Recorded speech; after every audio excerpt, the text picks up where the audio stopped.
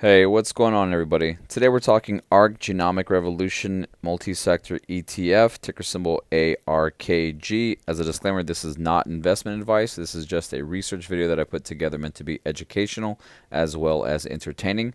We're going to take a look at a few different holdings within this ETF and try to understand what makes it so special, in my opinion. So, going to highlight a few different news clippings and articles surrounding Cathie Wood, the active manager for this ETF, and then we're going to take a look at why I believe this ETF is the way of the future. Please enjoy.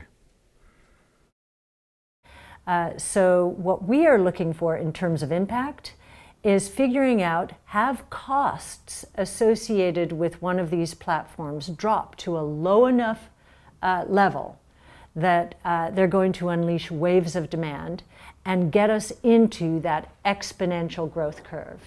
Uh, so whether it, it, DNA sequencing, we're there. Uh, to give you an example, uh, DNA sequencing costs now are below $1,000. Uh, Last year, uh, the number of whole human genomes sequenced around the world was 2.4 million.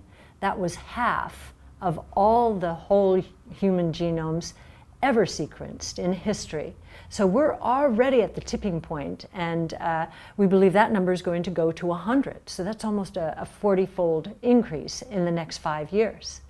Uh, so that is truly exponential growth, and it is going to change healthcare decision making. It's bringing real science into healthcare decision making for the first time. Uh, so our geneticists, and you're going to have one, so am I, are going to be able to identify for the first time the needle in the haystack. Uh, they're going to be able to identify which genes in our um, genomes have mutated. In other words, they've developed a programming error. And now with CRISPR gene editing, following it up, we're going to be able to correct those programming errors.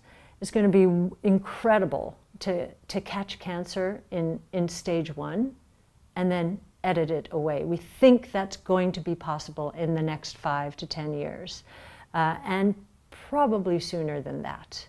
So that's real impact. So we're almost creating these superhumans. uh, well, longevity, yes, uh, human lives will be extended, but the quality of human life is going to improve dramatically if we're able to move away from treating cancer as a chronic condition, and that's where we've been going recently, but to actually correct uh, the whatever the mutation ha that has taken place very early on, that's going to be huge. What I find very impactful and fascinating about Cathie Wood is how she thinks in the long term. So let's take a quick look here I have a lot of skin in the game when it comes to this ETF. I'm going to drop you into Madeline's portfolio. That's our daughter. She's she just turned six months uh, a few days ago, and in her portfolio, I hold five ETFs, all the ARK active managing ETFs, and ARK G for me um, thus far has been the best performer and so you know, I every week I, my wife and I, we donate uh, into or we invest uh, in this portfolio, and I'm very excited to be doing this in the long term. So obviously, this is an 18 year minimum portfolio for our daughter, and I really, really like the companies that are in this ETF. So I just thought I would showcase the portfolio so that way y'all can understand why it is that I am a big ARK bull. So just a just a little insight as to where I'm coming from. Now, we'll take a quick look at some of the holdings and I really really like you know, I like Teladoc, I like Illumina, Editas, I like a lot of these companies, and and we're gonna get into why I like these, but we're gonna highlight right now. We're gonna look at Regeneron and kind of understand uh, why Regeneron and uh, Illumina are very, very important for this ETF and why gene sequencing, uh, gene editing is a uh, is a big uh, momentum play for for this ETF. So Illumina is uh, being housed right there at 2.54%. And again, since this is an actively managed ETF, the allocation with the shares are it fluctuates, right? So at any moment as the company sees fit, they can adjust the portfolio. So let's take a quick look at what makes this ETF tick. On the block came a sequencing technology called Illumina. And the way that Illumina sequencing works is that you have a piece of DNA, you stick an adapter on each end. Um, I'm going to call this adapter 7 and this adapter 5, it doesn't really matter. And then you have a glass slide, like a microscope slide, kind of, um, where you've attached already sequences that are complementary to these adapters. Okay. And so you create your DNA, you attach it to the slide, and so you have one piece of DNA here, and one piece of DNA here, and one piece of DNA here. And then you do what's called a PCR reaction, which amplifies this piece of DNA just in this locality, amplifies this piece of DNA, amplifies this piece of DNA just in that local region. Okay. Once you've got um, a little, a large amount of DNA just in those little local regions, you then do the sequencing where you add our fluorescent uh, DNTPs. So DNTP is a combination of DATP, DTTP, and DGTP. The N means any. And so you wash across uh, the fluorescent molecules. Again, you have a very sensitive detector that can detect um, where each base is being added. And you do it by taking a series of photographs, doing a bunch of image analysis on those photographs, and that gives you this. Illumina, depending, so they have a, a couple of different machines that you can use, actually have a, a range of different machines, but their main machines, there's the MiSeq and they have the HiSeq, and the MiSeq um, generates in the order of about a gigabase pair of reads. And the HiSeq, if you get it really cranked up, can generate in the order of 10 gigabases or maybe even 15 gigabases if you uh, really optimize it. Remember that the human genome is about 3 gigabases, right? So we're sequencing multiple human genomes at this time, at this level, which is what they're trying to do. Um, and the cost for a MiSeq run is, it, depending exactly how you do it, but it's in the order of two to five thousand dollars. So it just really depends how many different samples you put in, how many library preps you do, um, and each of the steps. If you're just doing one sample, it's cheaper. If you do multiple samples mixed together, it gets more expensive.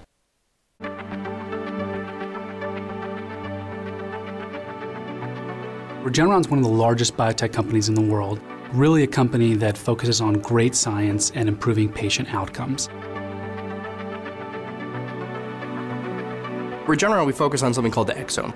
And when we sequence the exome, that's the 1% of the genome that actually makes the proteins. We can do these large-scale sequencing studies so we can find mutations in certain genes. Then we can have very high confidence that with our antibody-based technology, we can bind specifically to those protein targets that we find and make a very effective drug that can help cure diseases. We've sequenced about 150,000 people in our last two or three years, and we're also moving forward at a capacity of, you know, in excess of 150,000 people a year. And now we're doing very large scale human genetics gene discovery for new target discovery. We're applying it towards validating our existing drug development programs, guiding the development of our therapeutics, and also looking at pharmacogenic applications for our existing programs. We started in the lab prepping 20,000 samples per year. We've scaled that capacity at least tenfold just by innovating on the technology side. Just three years later now, we've increased those targets to be a couple hundred thousand exomes per year. And so as we continue to scale that, we need to have sequencing capacity that can keep up with that. The NovaSeq platform and the continual innovation and ability to scale our sequencing and our numbers is really going to help us now do what we've done for our first handful of diseases and discoveries across the board. It used to be that our rate limiting step now would be at the sequencers, and we could add more sequencers to compensate with that. But with the NovaSeq, I'm sure it's going to be a while before we're outstripping the capacity of those machines. Speed is critical. One of the most difficult parts right now in the drug discovery process is delivering really good targets into the pipeline. And that the faster we can sequence these samples and the bigger we can build up these data sets, the more success we're going to have. As we think about continually scaling our sequencing output, it becomes a little bit unrealistic to continue to add machines to our current existing fleet. We have over a dozen different machines in our sequencing fleet right now. So this new platform, this new infrastructure allows us basically to start over and redesign for a whole new uh, scale and output that we want to move for the future.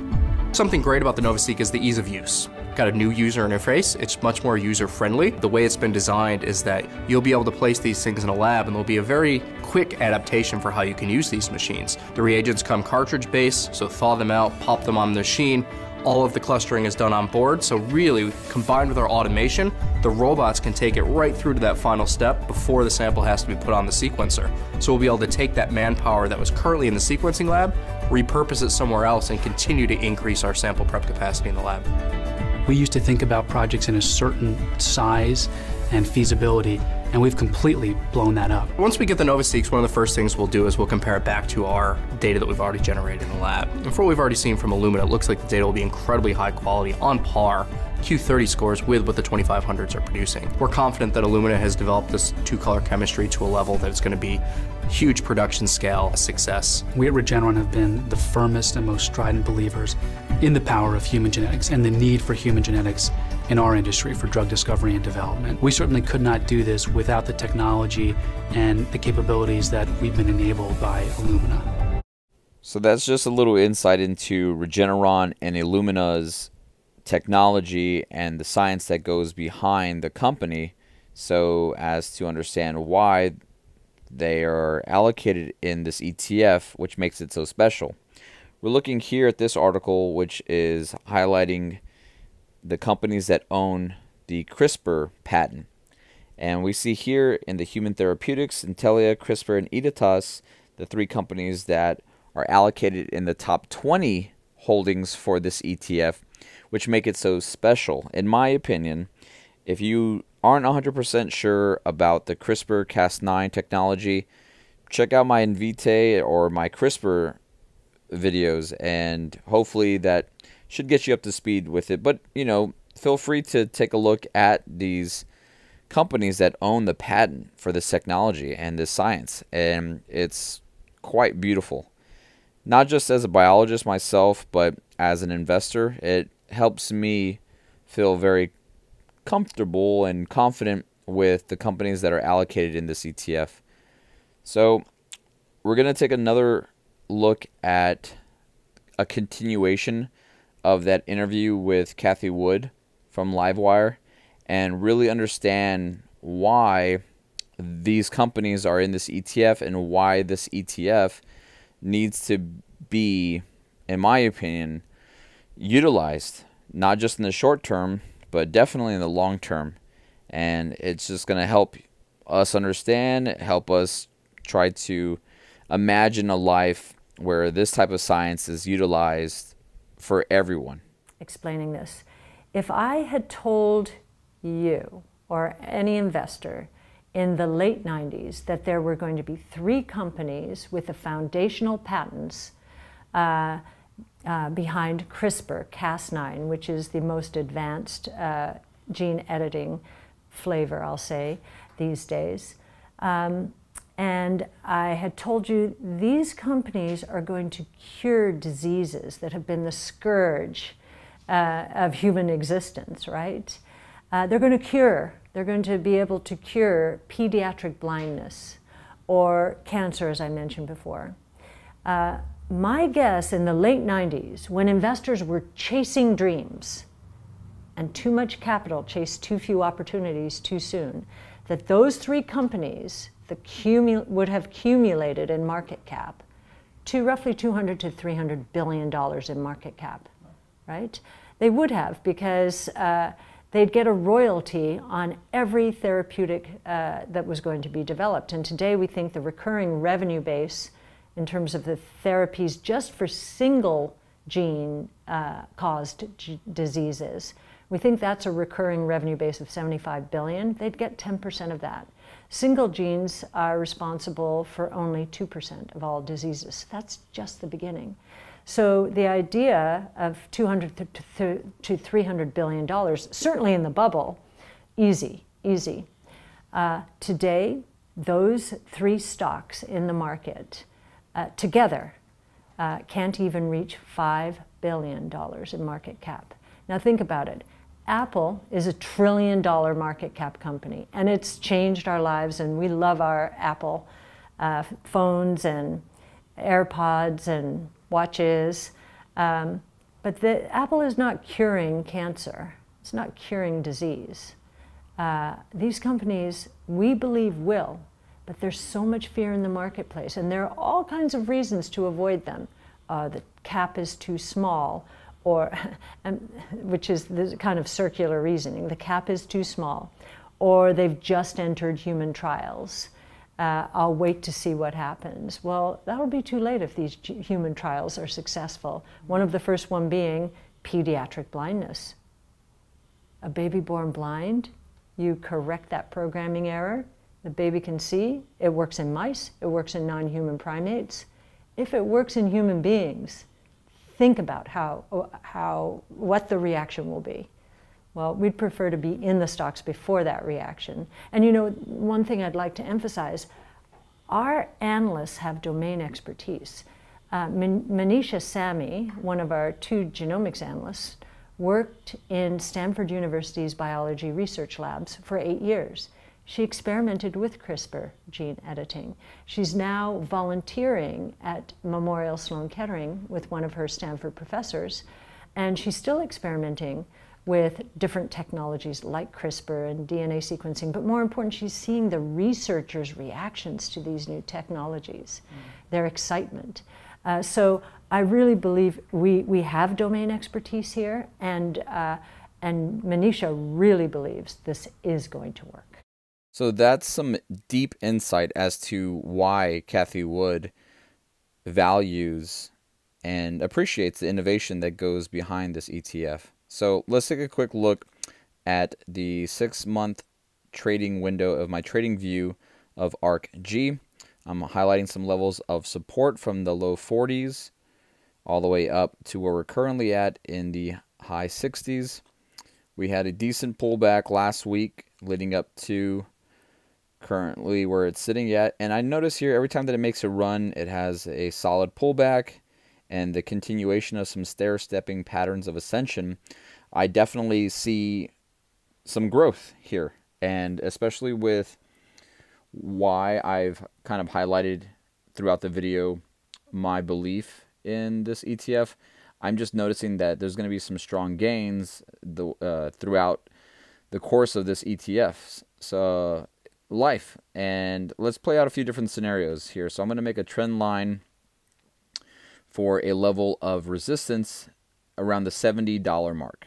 Just for me. This is something that I do from time to, from time to time when I'm looking at the movement of a stock and I'm trying to see it pop through this level of resistance so that way it can become a level of support, right? And it can go any way, we know that. But if it does pop and it does stay above $70, then I think all these levels of support, right, throughout the high 60s, then that's what they're there for. They are there to support the stock. And only good news can come from the price action staying above that $70 mark for myself. However, let's let's play out the second scenario where it continues to fall or there's a, a massive pullback and it reaches a level of support around the $60 mark, right? It wasn't it was just trading there not too long ago, so let's not act like it can't trade there again. So, if it does fall and it does pull back and it hits the level of $60, I would hope that it trades sideways there. If perhaps if it dips below $60, I won't be surprised if anything happens, right? But I can see that level being a solid level of support and for it to continue to trade. So just to wrap it up, and I'm sorry for the chart, you know, getting a little messy, but my technical analysis will help me find the levels of support, find some levels of resistance, and hopefully it can turn a level of resistance to a level of support. So I believe in this ETF long term, right? I mean, I'm holding this for Maddie, you know, for 18 years. I'm going to continue to invest into it. I trust the process. I really do look forward to seeing where the companies within this ETF can can go. And just to wrap it up, I believe that it will continue to grow substantially. All right, I'm going to leave it here. I want to thank you for your time. Please continue to like, share, and subscribe. I really do appreciate it. If there's another company, ETF, or an IPO that you'd like to see me research, just drop it in the comment section below, and I will do my best to get to it as soon as possible. So, again, I hope everyone is staying safe out there. Hit that notification bell, and until the next video, I will see y'all soon. Take care. Bye bye.